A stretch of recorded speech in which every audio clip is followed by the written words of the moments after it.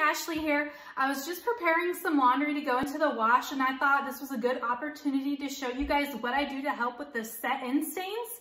A lot of times in this house, um, the kids or Andrew will spill on themselves and forget to mention to me that they have a stain on their shirt and it slips past and it gets washed and then that stain gets set in. So I've actually been using um, Dawn dish soap baking soda and hydrogen peroxide to help me lift those set-in stains. So I thought I'd show you because getting stains out in the mom world is a huge accomplishment. So let me go ahead and show you what I do to get those stains out. Okay, so we're gonna go ahead and start getting some of these set-in stains out. Um, here's one of Andrew's shirts. I have a whole pile of them that need some treatment. So if you can see right here, is a stain. Um, he is notorious for dropping things on himself throughout the day and then not telling me and then I wash them and then we get this. So um, again, here it is right here, this big set-in spot because um, the shirt has been already washed and dried with this stain on here. So um, now we're gonna try to tackle it. Um, Hadley's right here eating her lunch, so I might have to break if she needs more, but she's fine right now. So I grabbed just a little um, Rubbermaid Tupperware Gladware container. And then I'm gonna do um, Dawn dish soap. I have massive size, of course, because everything's at Costco. And then I just pour it right on into here.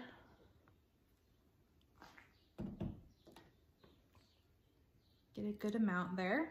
And then I have a cleaning toothbrush. So, and I always put a band on the ones that people don't want to put in their mouth, just in case.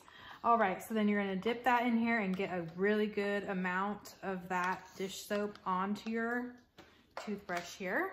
And then we're just gonna go right onto that stain. Do you need more? No, you're fine. All right, so we're just gonna go like that, get some more. And just really saturate that area. With the dish soap. All right. The next step is baking soda. Just gonna sprinkle a little bit on here. It's coming out in chunks, which is fine because then I'll just break it up.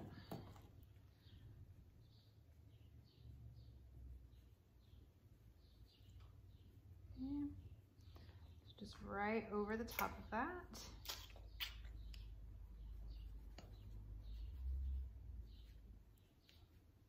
All right. And then the last part is gonna be our hydrogen peroxide.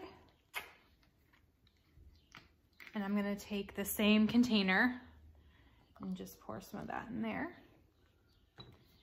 And then you're going to wanna get enough on here that it makes more of a paste on here. So really get a good amount on that brush.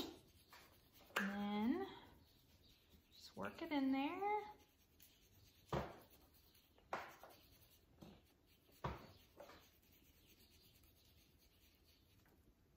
Go for more.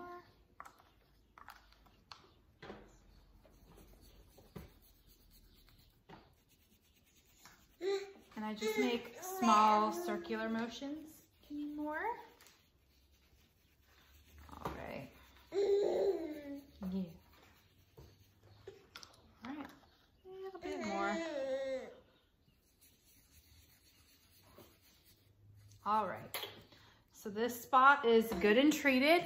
What we're gonna do is let this sit on here for an hour before we just do the normal wash cycle with it. So Go ahead and treat it, let it sit for an hour, and then normal wash cycle.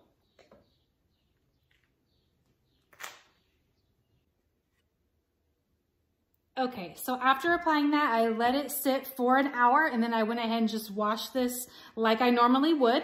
And as you can see, that set-in stain is now gone. So we had a big old spot right here where he dribbled something down himself um, and it is now gone. You do wanna make sure that you wait an hour before you wash at least. This probably waited an hour and a half. Um, I have a couple others that waited less than an hour and I'm retreating them. They do look better than they did, but definitely definitely make sure it sits at least an hour for you. Another thing I wanted to mention quickly is if you're doing a darker color shirt, like I have some darker stuff over here, um, you're gonna wanna spot test first just to make sure that the combination um, of supplies isn't gonna cause any bleaching or anything, any um, light spots. Where I always do that on Andrew's shirts is actually right back here. So I just pull up where his collar is and I'll do a little spot test right here. And I just apply the same things in the same way that I do um, on the spots themselves.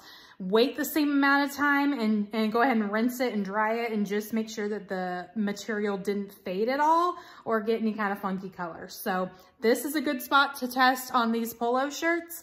This is what I'm working with with Andrew because this is what he wears every day, whether it's um, a nicer polo short shirt or um, his work polo shirts. So um, that's where I go ahead and do the testing on his. Um, you wanna make sure it's somewhere that's not gonna be visible. Um, and again, this is where the stain was and it is gone now. So this shirt is good to go. It needs a quick steaming, but maybe sat in the dryer too long. But um, again, no more set and stain.